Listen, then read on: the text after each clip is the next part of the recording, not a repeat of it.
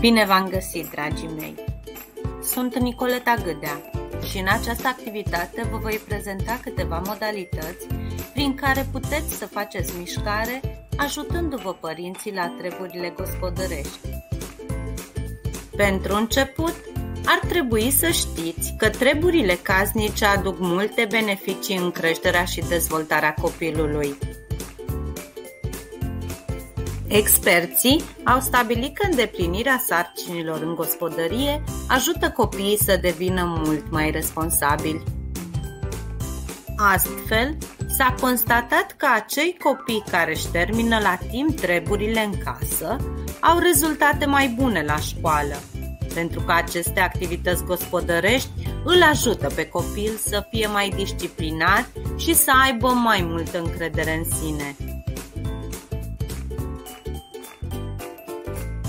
Îndeplinirea sarcinilor gospodărești îi ajută pe copii să fie altruiști, să se ajute unii pe alții.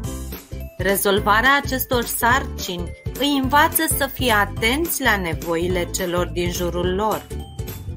Treburile gospodărești împărțite între membrii familiei conduc la o înțelegere mai bună între aceștia, la o mai bună comunicare. Copiii ajung să înțeleagă faptul că sunt o parte importantă a familiei, iar ceilalți membri se bazează pe ei. Cum ați putea voi să vă implicați mai mult în îndeplinirea sarcinilor gospodărești? În primul rând, nu este niciodată târziu pentru a începe. Chiar dacă până acum nu v-ați implicat niciodată în treburile casei, sunt convinsă că oricare dintre părinții voștri ar fi foarte fericit dacă mâine voi vă veți oferi să duceți gunoiul sau să strângeți masa după ce ați mâncat. Faceți întotdeauna treburi gospodărești specifice vârstei voastre.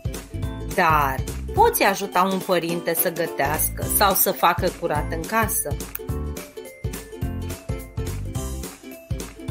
Concentrați-vă asupra obiectivului, nu a rezultatului.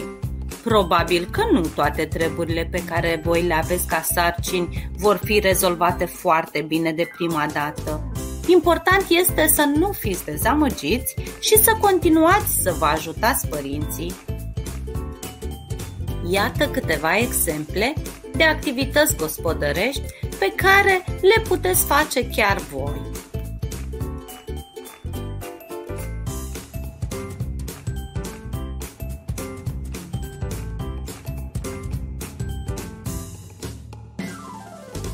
Scrie într-un tabel toate sarcinile pe care le ai într-o săptămână. Iată exemplul meu de tabel. Am fost destul de harnică săptămâna aceasta, nu-i așa? Sunt Nicoleta Gâdea.